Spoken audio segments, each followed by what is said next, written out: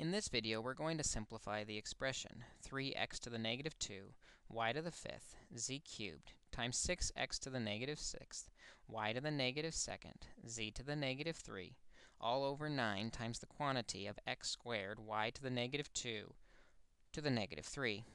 And then the entire expression is raised to the negative 3 power. Keeping in mind order of operations as a guide, we will work through our exponent properties. Also, we will take care of our negative exponent immediately after using our power rules. Order of operations tells us to start inside the parentheses, and inside those parentheses, we'll first start with a power rule, taking that negative 3 through the smaller parentheses. As we do, the numerator is still the same, 3x to the negative 2, y to the fifth, z cubed, times 6x to the negative negative sixth, y to the negative second, z to the negative third, all over 9, x to the power of a power rule says to multiply the exponents, negative sixth, y to the positive sixth, and then the entire thing is still to the negative 3. Now we're ready to simplify inside the parentheses the numerators. Oh, actually, before that, after the power rules, we should be taking care of negative exponents. So let's look at what has a negative exponent. x to the negative 2, x to the negative sixth, y to the negative 2, z to the negative 3, and x to the negative 6. Each one of those parts needs to move. As we do, what's left in the numerator is a 3, y to the fifth, z cubed, times 6, and then we moved an x to the negative 6 up, making it x to the positive 6. Over, in the denominator, we had a 9 and a y to the 6th, and then we moved down an x squared, an x to the 6th, a y squared, and a z cubed. All of this is still to the negative 3 power. Now that we've taken care of the negative exponents, we can continue simplifying the fractions in, in the numerator and the denominator.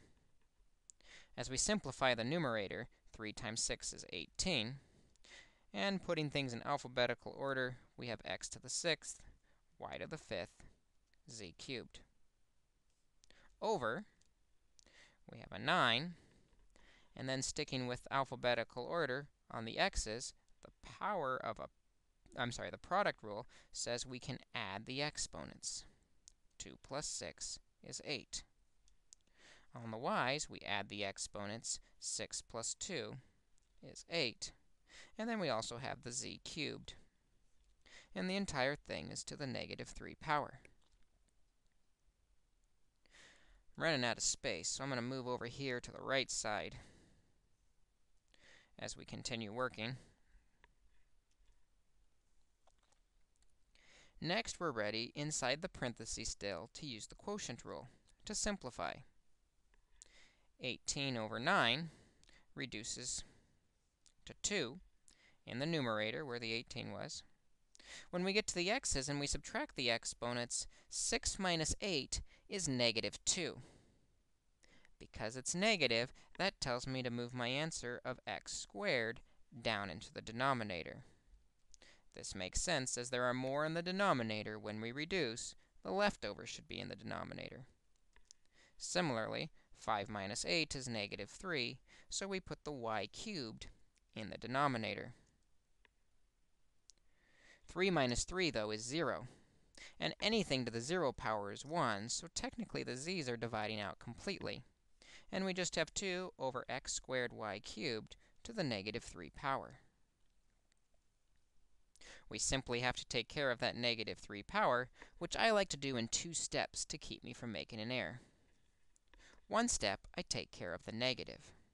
A negative exponent makes a reciprocal, so I will move the x squared y cubed up and the 2 down, and now it's a positive exponent. We can put that positive exponent on each factor, multiplying exponents to end up with x to the 6th, y to the ninth, over 2 cubed, which is 8, our final answer.